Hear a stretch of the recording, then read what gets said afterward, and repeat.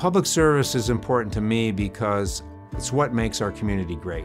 If we didn't have folks that were willing to sacrifice their time or give their time back to our community, we wouldn't have a community.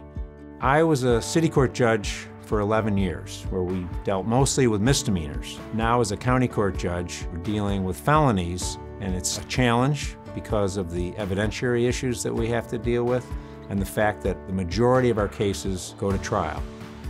The College of Law prepared me for my career because the professors there really challenged you and they made you a better thinker, a better person, and a better lawyer.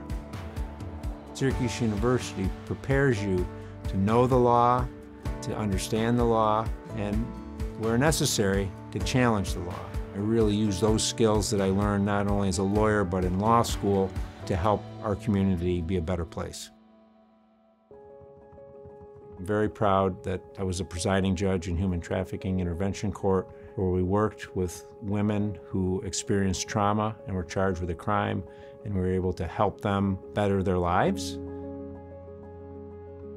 They really needed help to get out of that lifestyle to deal with whatever issues they were having, whether it be drug abuse or their trauma.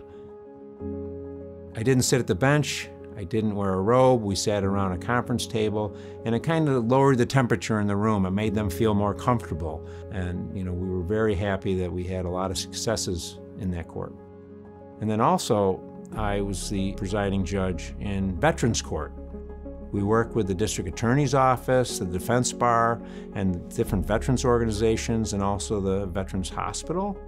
And we were able to put together a program that really benefited the veterans, and so I was really proud to help establish that here in the city.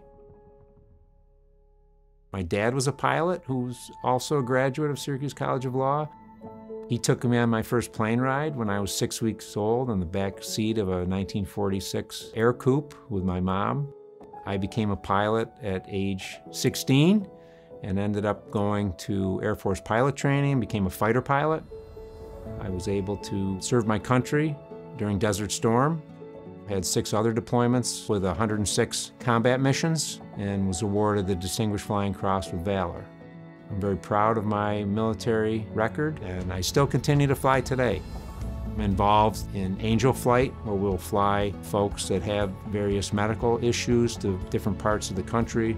I'm also in Veterans Airlift Command, where we fly veterans to their medical appointments.